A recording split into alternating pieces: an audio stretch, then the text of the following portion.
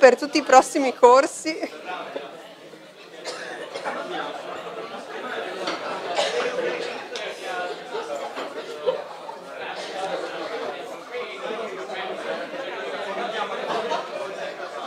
Allora, ehm, abbiamo ancora eh, 85 slide, quindi verso la metà del pomeriggio avremo finito. Quello è l'obiettivo, farli fuggire. Oh, e non me ne ero.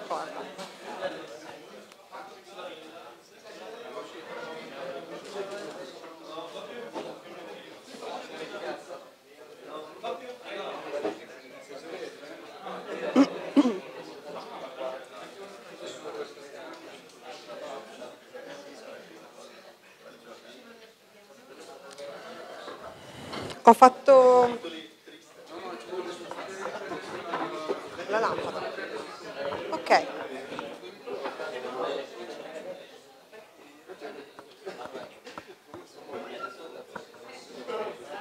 Qualcosa anche come scuola, mentalmente Se dopo questa mattina mi volete,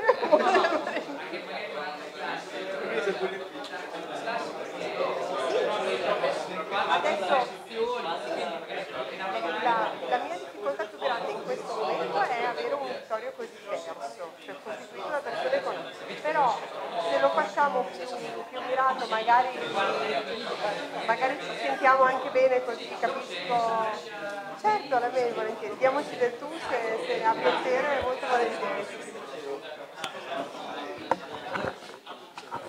Ok.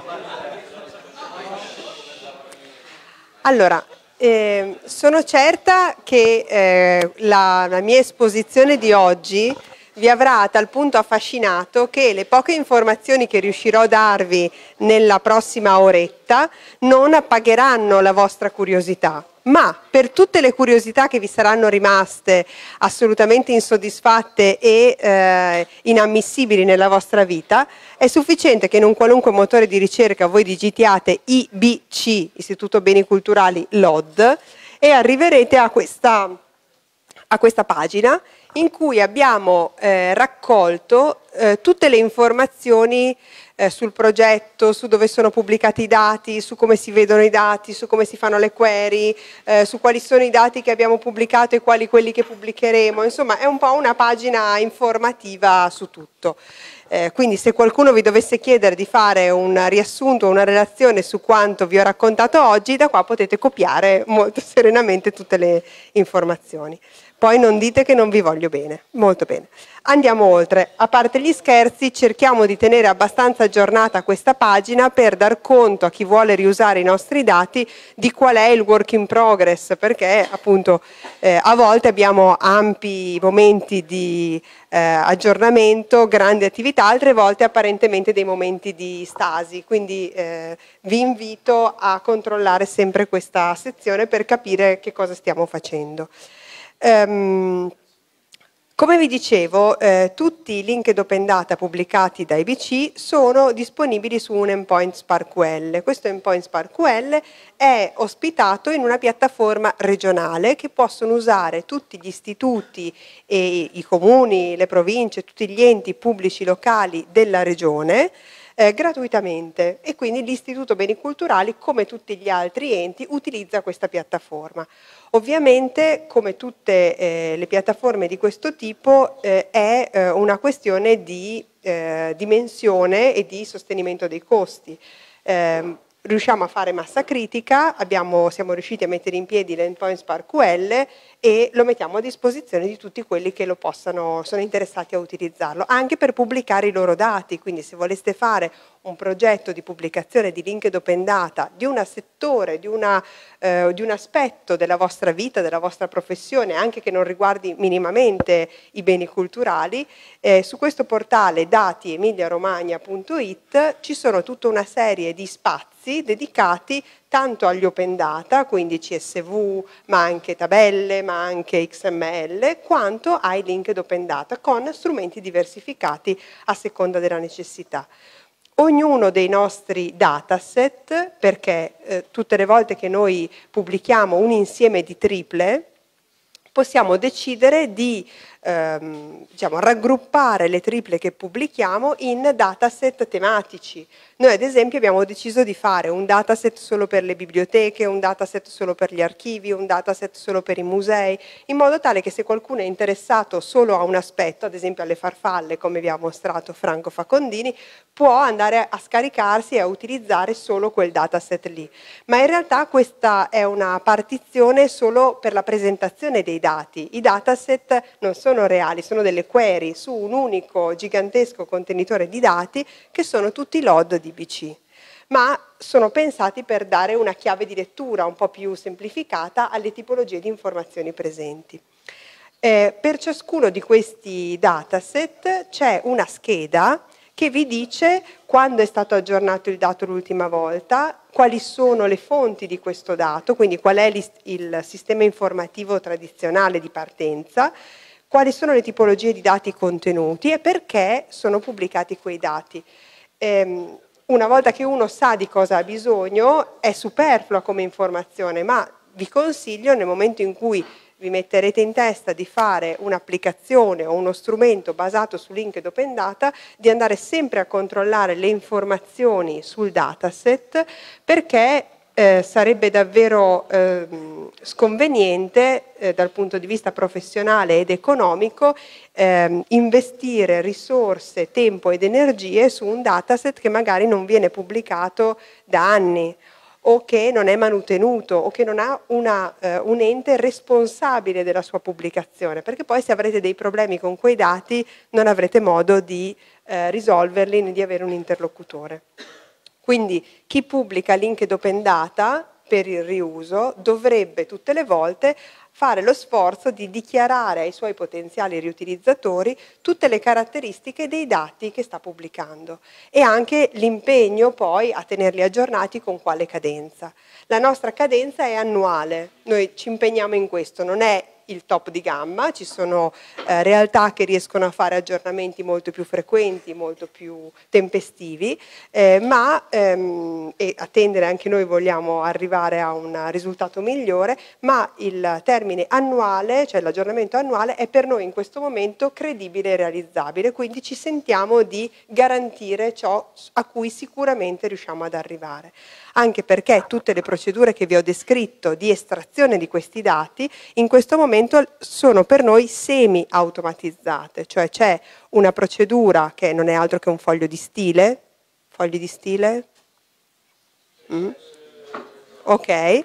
Non è altro che un foglio di stile applicato ai file XML posseduti dall'istituto che scrive file RDF. Quindi da questo punto di vista la procedura è completamente automatizzata, c'è fatta l'analisi, noi in qualunque momento dai nostri XML possiamo produrre RDF, ok? Però non è automatizzato tutto l'allineamento di questi dati con l'esterno. Vi ha parlato Franco di interlinking e di allineamento con l'esterno? No, adesso ci arriviamo. E quindi tutta questa parte che non è automatizzata ha dei tempi di lavoro che ci fanno garantire all'utente esterno un aggiornamento all'anno.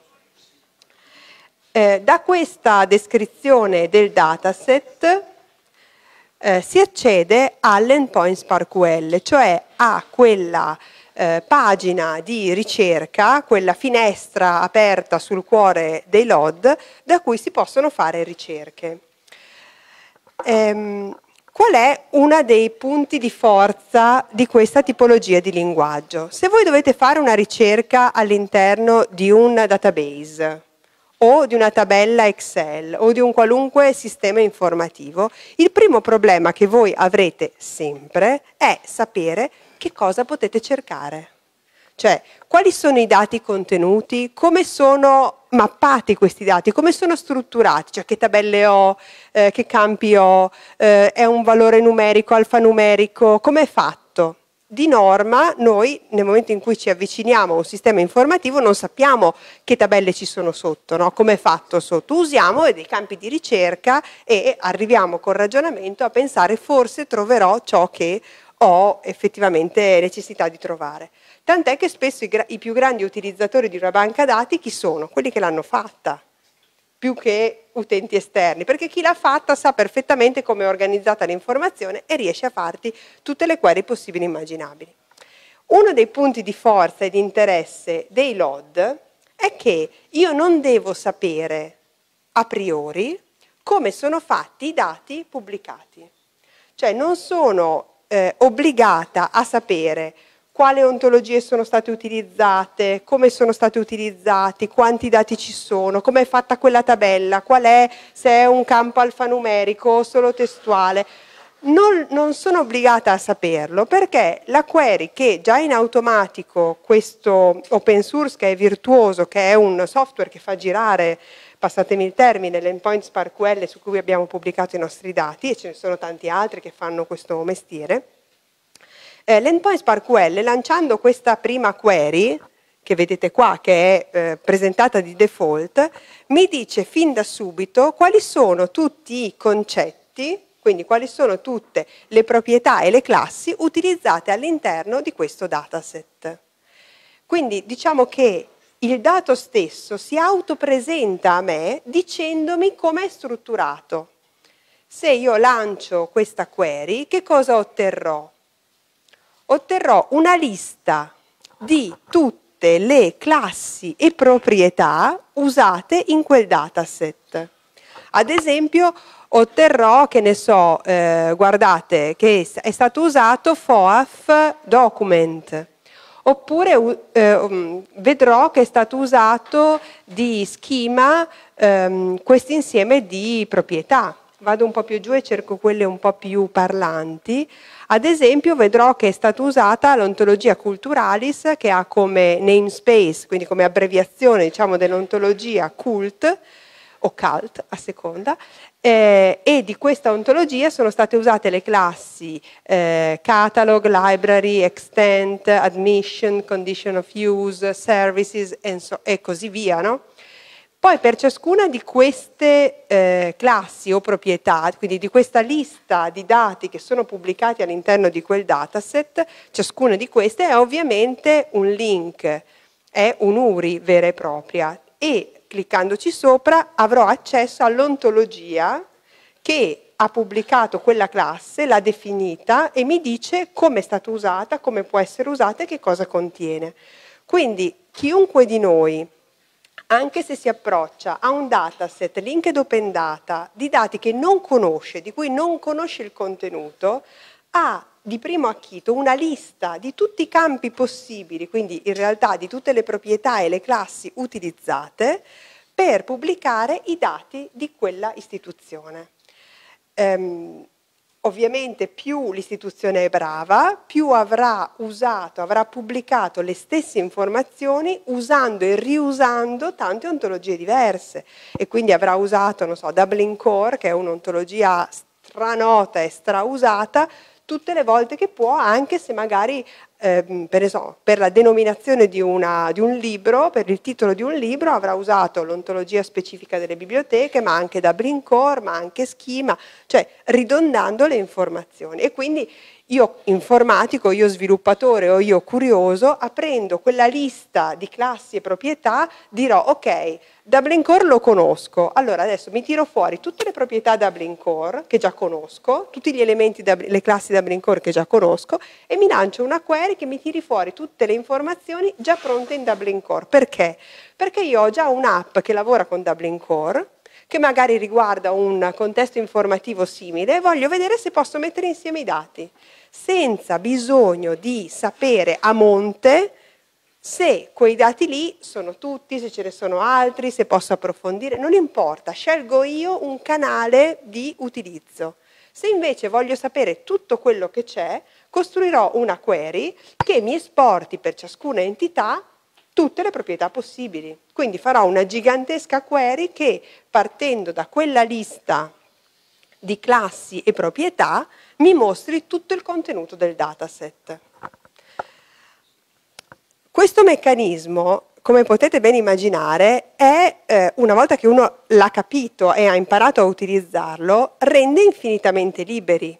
Infinitamente liberi di fare che cosa? Intanto di riusare quei dati. Ad esempio, eh, noi pubblichiamo informazioni sugli istituti culturali, ma degli istituti culturali in Emilia-Romagna non ne parla mica soltanto l'IBC.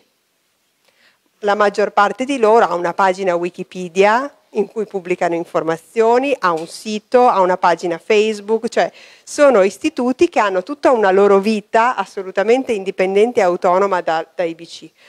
Allora che cosa abbiamo fatto? Abbiamo aperto i dataset linked open data, ad esempio di Wikipedia, che pubblica tutti i suoi dati in DBpedia in formato LOD, e siamo andati a cercare con le ontologie di DBpedia i nostri istituti culturali, dicendo vediamo che cosa, se c'è qualche informazione sulla eh, Biblioteca Comunale di Rimini all'interno di DBpedia. Tutto ciò non l'abbiamo fatto perché conosciamo il tracciato informativo di DBpedia. Non sappiamo eh, lo sappiamo perché ormai ci abbiamo guardato dentro, ma in partenza non sapevamo quali classi hanno usato, quali ontologie hanno usato, ma abbiamo lanciato questa stessa identica query sul dataset di DBpedia, abbiamo visto quali potevano essere le classi e le proprietà utili per il collegamento con i nostri istituti e abbiamo fatto quello che si chiama allineamento semantico o interlinking, cioè abbiamo dichiarato che la mia biblioteca comunale di Imola, è la stessa biblioteca comunale di Imola descritta da quella pagina, da quella risorsa di DBpedia o di Facebook. L'allineamento semantico è quell'operazione che mi consente di collegare i miei linked open data ai linked open data pubblicati da qualcun altro sulle mie stesse risorse informative, quindi su ciò che io intendo valorizzare intendo pubblicare. Il principio è il medesimo per conoscere i nostri dati o per conoscere i dati eh, pubblicati da altri. Poi vi faccio vedere qualche, qualche esempio concreto.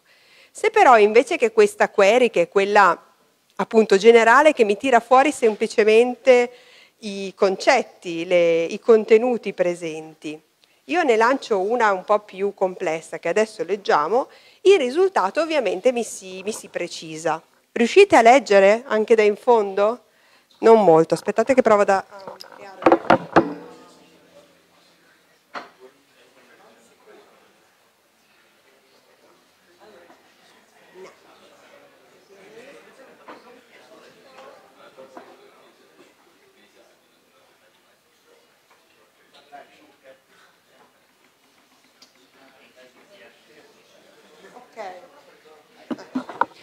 così un po' meglio. Allora, proviamo a leggere questa query. Siate clementi, ricordate che non è esattamente il mio mestiere. Anche se queste query anche un archivista può imparare a scriverle. Cioè io ormai a forza di vederle so fare a scrivere le query in SparkQL perché sono alla, fi- alla, fine un meccanismo abbastanza intuitivo per la loro realizzazione. Allora, innanzitutto guardate un po' che cosa dice questa query. Questa query mi dice seleziona e tieni distinte tutta una serie di oggetti. Poi non, non devi sapere prima come è fatto quel database, ma vai a dire tu come vorrai che sia fatta la tabella che vuoi tirarti fuori. I formati che tiri fuori sono i più vari, però, e poco importa in questo momento, però tu vai a dichiarare quale finché, quali colonne, finché è un termine tipicamente archivistico dei registri d'archivio, scusate, quale colonna eh, della eh, banca dati, della tua tabella, vuoi che ti vengano popolate, ok? Quindi in questo caso io ho detto, io voglio per ogni soggetto, per ogni riga, per ogni record che vado a tirar fuori, che cosa? Voglio la URI, quindi quell'URL che mi fa anche da identificativo. Poi voglio una denominazione, voglio il comune di residenza di quell'istituto, voglio l'indirizzo, longitudine, latitudine e il link, cioè la pagina ehm, in cui viene descritto quel soggetto lì. E che non è uguale a URI, non è uguale a URI perché in quel caso il link è il link alla pagina istituzionale del soggetto. Però anche qua eh, URI, denominazione comune, indirizzo, non sono nomi di classi o nomi di proprietà, sono etichette che io sto decidendo in questo momento. Cioè se io voglio che la prima colonna, anziché URI, si chiami identificativo, io qua scriverò, punto interrogativo, identificativo. Se le voglio scritte maiuscolo e minuscolo, le scriverò maiuscolo e minuscolo, perché in questo momento io non sto cercando un'informazione dentro il dataset, ma sto dicendo semplicemente qual è il titolo delle varie colonne della mia tabella. Poi che cosa gli devo dire? Allora, innanzitutto gli devo dire dove voglio che mi faccia questa ricerca, no? E il bello di questo tipo di mh, linguaggio è che mi può fare la ricerca sia nel mio dataset che anche in altri dataset contemporaneamente. Cioè io gli posso dire intanto me lo cerchi qua e poi con un union particolare posso fare una query federata che contemporaneamente mi va a prendere i dati anche da un altro dataset pubblicato in un altro endpoint da un altro soggetto. In questo caso rimango qua dentro per semplicità e gli dico mi devi prendere fuori tutte le URI, cioè tutte le entità che abbiano, che siano, questa A significa ehm, è di tipo, eh, è uguale, è il eh, Dublin Core type, diciamo è una proprietà base, non importa, che siano di tipo museo. Poi tutte le entità che siano di tipo conservatore d'archivio, tutte le entità che siano di tipo biblioteca, e tutte le entità che siano di tipo castello. Quindi io gli sto dicendo, allora, ho visto nella mia tabella dei valori che avevo queste classi che mi erano state definite, che nel mio dataset sono definite queste classi, castello, biblioteca, conservatore d'archivi e museo. E gli dico, tirami fuori le informazioni da tutte queste tipologie. Se io tolgo un union, ovviamente toglierò quella tipologia dalla mia query. Poi che cosa gli dico? Allora, eh, gli vado a dire qual è, con cosa mi deve popolare la tabella, cioè per ciascuna di queste colonne, URI, denominazione comune, gli vado a dire qual è la proprietà che deve andarmi a estrarre dai dati. E come faccio a saperlo? Ho guardato le proprietà in quella prima eh, schermata iniziale e quindi so che ad esempio le URI io le ho pubblicate tante, con tante proprietà diverse, ma le ho pubblicate all'interno, ehm, scusate, che la denominazione l'ho pubblicata all'interno di un elemento che si chiama Dublin Core Title. Se ci fate caso, questo modo di, questa tipologia di query non è altro che una tripla. Cioè io sto dicendo, per ogni URI prendimi tutti gli oggetti che rispondono a questa proprietà. Quindi sto usando la stessa struttura del dato che è fatto per triple. Io nel mio dato avrò che l'identificativo 5, la URI 5, ha come title Biblioteca Comunale di Rimini. La query la scrivo esattamente nella stessa maniera, cioè dico per ogni URI popolami il campo la colonna popola, denominazione usando questa proprietà, Dublin Core Title. In realtà la denominazione io ce l'ho anche in un'altra proprietà, in un culturalis name, ce l'ho anche in FOAF name, ce l'ho in tante proprietà possibili, ma siccome io conosco Dublin Core, questa query la faccio in questo modo. Poi gli dico, sempre della stessa URI, quindi sempre della stessa riga, voglio sapere qual era il dato successivo, il comune di residenza. Soltanto che il comune di residenza non è una palla nell'ontologia, nella rappresentazione dei dati, collegata direttamente all'URI, ma c'è in mezzo un oggetto che è la sede. Cioè noi abbiamo detto che un, un istituto culturale ha una sede e che quella sede è situata in un comune e ha un indirizzo. Allora io non posso dire URI located in comune, perché questa tripla non esiste nei miei dati. Io nei miei dati ho URI located in sede di quell'URI e sede di quell'URI che abbia come label, schema in questo dato, il nome del comune.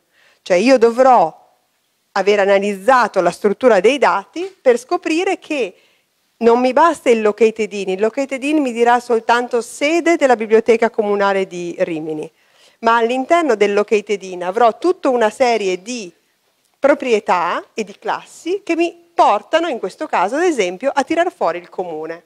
E quindi con queste due righe, non con una riga sola, ma con due righe di triple, io avrò popolato la colonna comune. Andando avanti, adesso c'è un caso uguale della sede e lo possiamo saltare. Ad esempio, ecco, io voglio latitudine, longitudine e latitudine. Bene, longitudine e latitudine sono fatte con questa ontologia, long e lat, vi ricordate VGS 84, ve l'ho mostrata prima, e vanno a popolare questa colonna. Così pure, ad esempio, il link, quindi la pagina vera, vera e propria insomma, in cui si descrive quel, quel conservatore, quel, um, quell'istituto culturale, è collegato all'URI tramite un is referenced by, che mi dà il link. Quindi io vado a costruire la query praticamente riproducendo le triple, la struttura delle triple. Questo esempio di query è fatta così, perché io ho deciso di usare queste proprietà. Se ci fate caso, ho usato solo una volta l'ontologia culturalis e avrei potuto non usarla nemmeno in quel caso, ma avrei potuto produrre la stessa query tutta con Dublin Core, tutta con GeoNames, tutta con culturalis, perché abbiamo cercato di riusare, di ridire le stesse informazioni con tante ontologie diverse. Poi posso dire ordinalo, raggruppalo, tutti i comandi classici di SQL. È evidente che...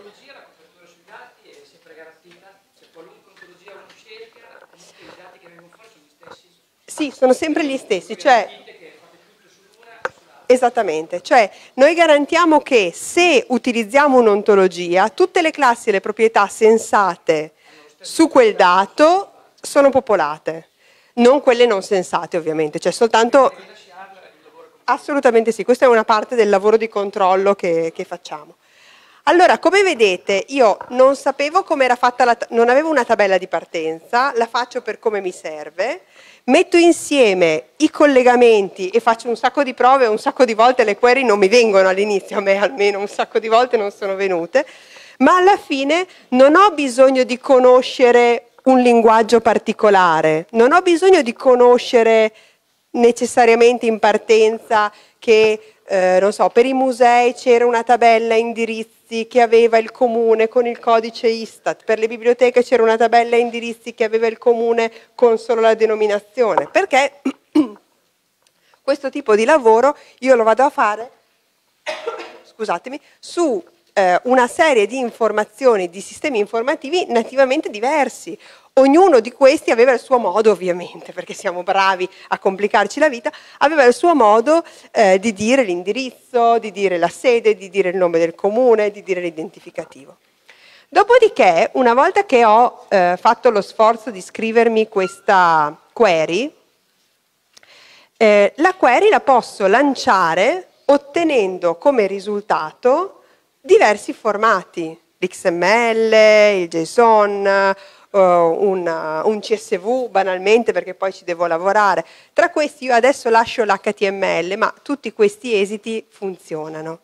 Lancio la query e vediamo che cosa ottengo.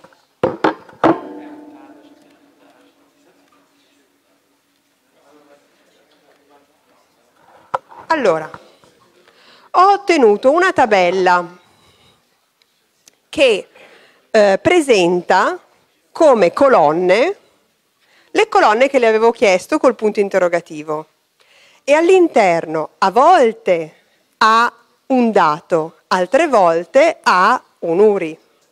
Vediamo come. Allora, in questo caso avevamo chiesto un URI, quindi otteniamo non diciamo, un dato leggibile dall'uomo, ma un'URI identificativa. Il dato invece, il campo invece denominazione, la denominazione del soggetto, era una stringa di testo, non era un'altra entità e quindi non ottengo un URI, ma ottengo direttamente una stringa di testo.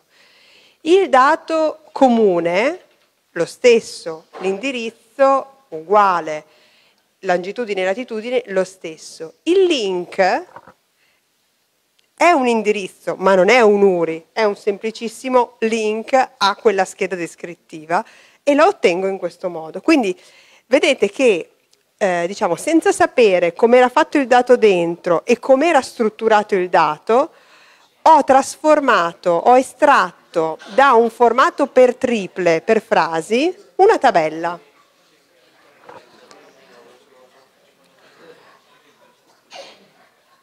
Se ehm, cosa accade? Che se eh, per caso, ovviamente, sbaglio, allora, se sbaglio a definire le colonne, eh, lui, eh, poverino, non ce la fa. Cioè, se gli dico qua titolo e non vado a definire titolo in nessuna delle triple e lancio la query, va da sé che lui mi dice, eh, bella gioia, cioè eh, abbiamo un problema, c'è un errore nella, titolo, nel, nella query perché la variabile titolo è utilizzata come colonna ma poi non mi dici come popolarla. Ok? Semplice. Ma una volta capita questa regola io infilo un insieme di colonne infinite, vado a metterci tutte le proprietà usando sempre URI come soggetto e la eh, destinazione, diciamo, la colonna di destinazione delle informazioni come oggetto e andando a metterci come proprietà che collega URI e oggetto la proprietà che scelgo di volta in volta e io ottengo la tabella con tutti i dati popolati dentro il dataset. Allora, torniamo un attimo qua.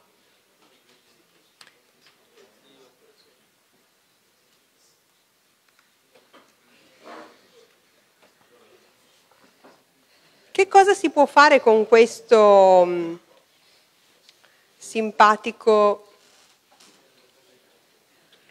giochino?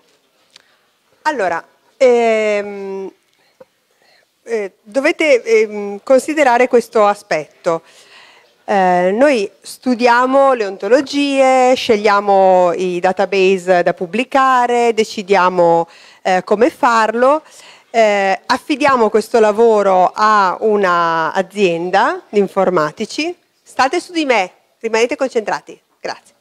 Eh, affidiamo questa, eh, questo incarico a degli informatici che, bravissimi, fri, fri, fri, ecco questi sono i LOD e mi consegnano una sbragata di eh, triple dal momento che eh, io sono una donna, quindi eh, superiormente intelligente rispetto alla media, e eh, sono in grado di... Vedi come si fa ad ottenere l'attenzione? allora, siamo anche in diretta Facebook, avrei anche una dignità di funzionario pubblico da mantenere. Allora, dal momento, io è vero sono molto intelligente e ho una grande fiducia nelle mie capacità, ma come potete immaginare non ho la potenza di calcolo e di ragionamento di una macchina, quindi inter- interpretare eh, centinaia e centinaia di righe di triple per verificare se l'estrazione dei dati era venuta correttamente non mi era molto semplice. E oltre a ciò avevo bisogno di far verificare la correttezza delle estrazioni non solo a me, ma anche ai funzionari che sono 30 anni che si occupano di popolare queste banche dati.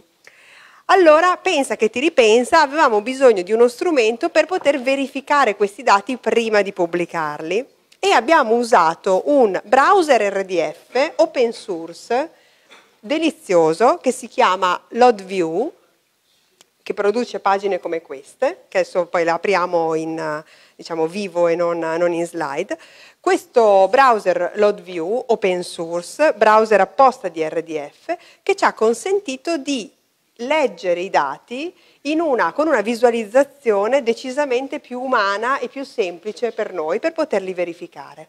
Siccome il risultato, tutto sommato, pur nella sua povertà, ci sembrava efficace, questo, la personalizzazione di questo browser open source l'abbiamo messa online. Quindi chi volesse eh, navigare nei link d'open data eh, prima in un formato più umano, prima di approcciarsi a una vera e propria query SparkQL direttamente sull'endpoint, potrebbe scegliere anche questa strada. E eh, ve lo faccio vedere, così vediamo anche un po' di dati. Allora. Sempre nella pagina IBC Load, in fondo, dopo tutti i dataset pubblicati, le ontologie, avete questi visualizzatori, questi navigatori di eh, link d'open data. disponibili per tutti. Questo navigatore non è un portale, è un oggetto che legge in diretta il, i dataset pubblicati da IBC. Quindi io faccio una correzione nel dataset, questo portale è già aggiornato perché non, non fa elaborazioni, cioè fa una serie di elaborazioni sue ma non, non c'è un altro contenitore di dati, pesca da lì. Okay? Proprio perché è uno strumento di lavoro, diciamo la grafica è assolutamente povera, ve lo allargo un po'.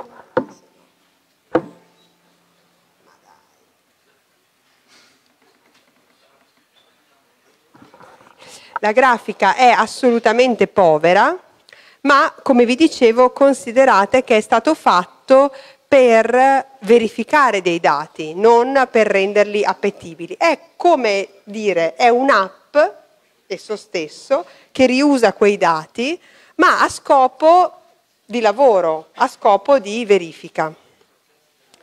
Come si vedono i dati? Se ad esempio noi prendiamo una, eh, facciamo una ricerca, c'è un solo campo di ricerca, modello Google, modello proprio così piatto, io cerco, magari scrivendolo correttamente, Rimini, e lui, che proprio non ne vuole sapere di complicazioni, cerca in tutte le classi e le proprietà eh, pubblicate, in tutti i dati pubblicati nel dataset, la parola pura Rimini.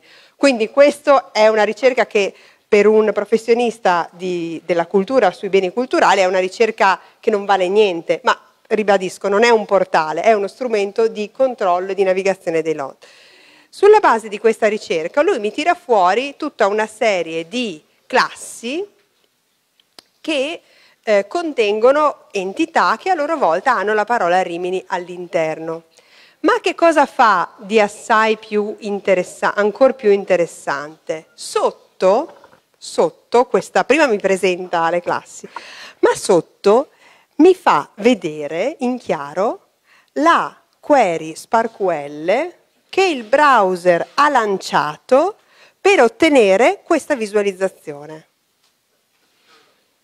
Chiaro? Cioè mi dice, mi fa vedere quello che qualunque portale fa, cioè qualunque portale lancia una query sui suoi dati per restituirti un esito di ricerca, ma questo strumento qua mi fa vedere che cosa ha fatto per produrre la pagina che si vede sopra. Tant'è che se ci fate caso, ad esempio, mi dice qua, selezionami tutti i conservatori d'archivio, holder of archives, che abbiano queste caratteristiche, quindi che ad esempio abbiano la specifica Rimini in qualunque ehm, proprietà in qualunque dato di questi soggetti e mi dice limit 10, cioè fammene vedere 10 alla volta. Perché me lo dice? Perché nella visualizzazione di questa pagina, se ci fate caso, noi vediamo proprio 10 oggetti alla volta, 10 conservatori d'archivio, 10 musei, 1, 2, 3, 4, 5, sono 17, ci fidiamo? Molto bene. Ok, quindi che cosa fa? Mi lancia la query, mi fa vedere il risultato, ma mi dice anche qual è la query che ha lanciato per farlo. Questo può essere un'ottima palestra, perché? Perché facciamo fare a lui il lavoro complesso di capire come realizzare una query con una serie di query successive perché si raffina ovviamente la ricerca e poi andiamo a copiarci la porzione della query che ci interessa e la utilizziamo nell'endpoint SparkQL ottenendo nel formato che ci fa più comodo, non in una pagina